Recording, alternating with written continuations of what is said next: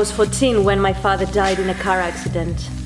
My mama was devastated, but in less than a year, she brought home that piece of shit. Everything started in three days when he asked me, when he forced me really, to actually suck his dick. Just coming home from high school, come home and I see our stepdad raping my, my little brother. I got a frying pan and just walloped him across the head and he just went out. I grabbed my little brother, took some things, and we ran out of there. We just ran and ran and ran until someone picked us up, and we got the hell out of there. Never returned. Never returned. My mother was a childminder until she got really sick with cancer. My father was a factory worker, an alcoholic. I'm not an alcoholic like him. I just like drinking. He used to beat the shit out of my mother and I used to hide in my room so that I wouldn't hear the screaming. Used to run away to bars since I was 13 and I'd sleep with anyone who would buy me a drink. That's how it all started. oh my god, I was dating this guy when I was 18. His name was Cotton. We had an amazing relationship. He was my first. Uh, yeah, where we were seeing each other every day. We decided to get married one day. Yeah, and uh, we even got a marriage certificate from the city hall. Oh, he was such, such a great guy, Cotton. At one point, he started uh, not showing up that often, and uh, one day he just disappeared. I found out he moved into South. I was feeling shocked. I, I felt I need to change my life. I always keep that marriage certificate with me wherever I go. In my teens, I was living in uh, an, an, environment where my mother and father were uh, fighting. My father was abusing my mom, so I had to drink a little bit and then stop him in order to finish the scene. From then, I started drinking. Hola, soy Carla, soy colombiana. Uh, when I was uh, 15, I met Juan, lo más guapo chico, uh, very beautiful. He had a red car back in Colombia. We were going everywhere. It was my boyfriend. Uh, my mother didn't like him. He was a scum and he was lived in the favelas. Anyway, I got pregnant. My mom wanted to kill me and uh, she wanted me to have an abortion and I didn't do it. So I'm in New York and my mom and my son is in La Jose uh, in California. You know, you're to belong to a band. the Devil's Angels. How we were rad. It was me, my girlfriend, and my best friend. How we were starting to get big, we were gonna be huge.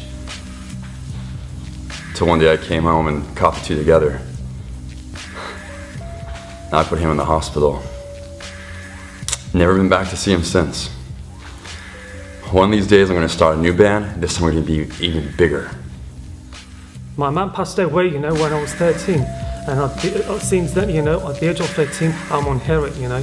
I mean, since the age of 18, you know, I'm walking around the street, you know, all by myself. And I get scared, you know, because in the dark, you know, all these black cats, you know, they're just coming towards me. They start punching at me one day, you know. And what I want, just a couple of friends, you know, a couple of fighters, you know, just a couple of people to protect me.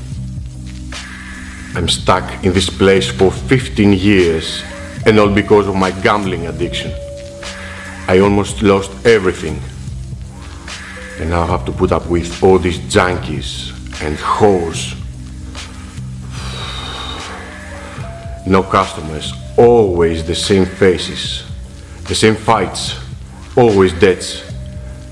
What kind of this place is? Is it a rehab? Or is it a madhouse in hell? How pathetic. So, uh, I was eight the first time my father touched me. It was the first of many. I, I left shortly after that, and I've been on the street ever since. I was brought up in Brooklyn Heights New York um, back in 1950s. My parents were very poor. I mean, sometimes we didn't have anything to eat. Uh, I used to love my dad. My dad was a favorite. When he passed away, I was 10 years old. My whole world collapsed. My dad, my mom got remarried to Cliff. He was a terrible guy. He used to beat her up and me as well. One day, I couldn't just take it, so I left home and I started wandering around on the streets. Then I met Julie and she introduced me to prostitutions. Ever since, I live in the streets and I try to make my living the way I do today. Hey, what are you? Some kind of cop or something? Hell, I was always gonna be in a boys' home, you know? I was always going to escape a boys' home. Come on, what do you expect from me? But you know, one day we go to like a zoo or something, the little ones ain't looking, the parents ain't looking, goddamn, the oldest one even looking. I just ran. I see the lights in Manhattan, I just ran. I didn't even look back. Faster than the Greyhound bus, too, you know? Hey, come on. He left me.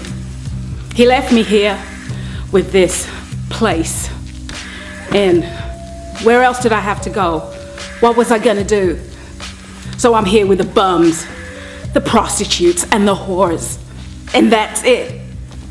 So I gotta make a go of this place. I can't go back to my family and say, well, I've made a, a lovely, gorgeous cafe for you to come to.